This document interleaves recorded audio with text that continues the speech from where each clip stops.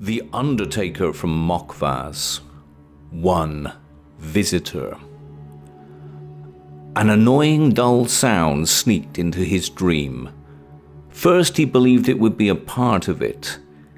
In this dream, he tried to put someone to rest. After the coffin was released and touched the fresh, moisty earth, the deceased one woke up and hammered with his fists against the lid. But the grave digger didn't give a damn. He shoveled back the earth into the pit as he usually did. He never bothered. Once something is in a coffin, it stays there. It's not his job to release some poor soul which suddenly decided to wake up. His job was to keep this poor soul in its place. Certainly, several times a year it happened that the dead woke up. They battered against the coffin walls, they screamed, they begged.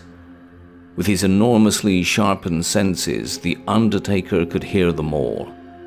But like he said, he didn't give a damn. He was paid to bury them, not to pull them out. The annoying sound persisted. It was definitely not a dream. It was much louder, periodical, stronger, and vibrating. No woken soul would ever hammer in such a calm and mighty way like clockwork. Out of sleep, back to consciousness, the Undertaker finally realized that some idiot was throwing stones at the shutters of his house. Through the high fence with razor sharpened ends of the bars where many who tried to sneak into his graveyard were cut in half. Through the whole distance from the fence to his house. Someone really good at throwing with a nasty supply of rocks.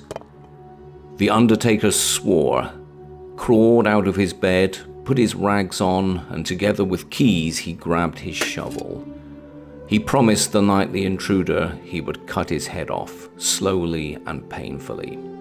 And there he stood, beneath a sickening foggy moonlight, outside his kingdom of the dead. The Undertaker observed the ghastly silhouette still throwing rocks. This bastard brought a full car to them and was not aware of his presence. The gravedigger approached nearly invisibly. He was feared for his cunning skills. Noiseless sneaking, for example. Well, not quite sneaking. He had this unpleasant habit of appearing behind someone's back out of nowhere. Not seldom, this someone suffered a stroke and dropped dead, especially when the victim was inspecting the grave hole for some recently deceased relative. In such cases, the undertaker didn't even bother. He left them where he fell and threw the coffin at him. Due to these reasons, the undertaker dug his holes a little deeper, just in case. The hooded person throwing rocks sensed his presence.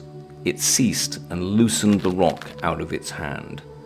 Slowly it turned towards him. A woman tall, slim, with a solid body used to hard labor.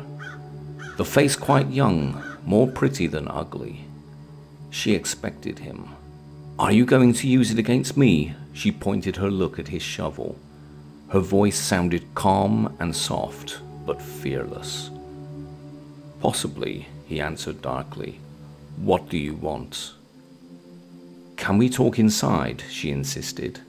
No, the woman bowed her head and remained silent. You can throw from here, you can talk from here, or piss off, he told her unimpressed. I need someone excavated now, she confessed. The undertaker threw his shovel onto his shoulder, turned away, and began to walk back to his graveyard. Wait, the woman shouted after him. Then she added shyly, I'll give you anything you want. The man stopped. When he turned to her, she could see the demonic smile on his scary face. For a few seconds, he examined her. The coat, the Undertaker commanded. The woman obeyed. Slowly, she undressed the warm and heavy coat, rolled it carefully, and put it into the cart. She had tight ink black robe on. Her collarbones beneath her pale skin reflected the moonlight as well as her onyx necklace. Her hair was beautiful, long, dense, and uneasily tamed. He left her to wait in the cold and observed how she strived to resist the chilly night, how her breath would be drawn heavier, how her body would start to tremble and her lips turn blue. Follow me, he said finally. The undertaker walked. She followed several steps after him, through the gate, through the alley, into his house. Clothes. He pointed at his bed. She stood in the middle of a large room, dirty, simple, and rustically equipped. She looked around, pretending she hadn't heard him. Then she approached the massive wooden dinner table. With her back to him, she started to undress. Her attire dropped to the cold earthen floor. In front of the undertaker, a body of a steady, healthy woman was uncovered. Sinews, muscles, bones. Round, tasty breasts, straight, long legs. All teeth in their place.